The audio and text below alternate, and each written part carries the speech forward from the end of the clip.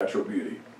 And watch as we put up these water trail signs. These go down at boat ramps, and the Georgia Department of Transportation has made the road signs that'll be going up. You, you just went and picked them up, didn't you? And that, we were Yeah. talking, we were talking to each other, and John was driving up to pick them up as That's well. correct. Like, I don't get to keep these, of course.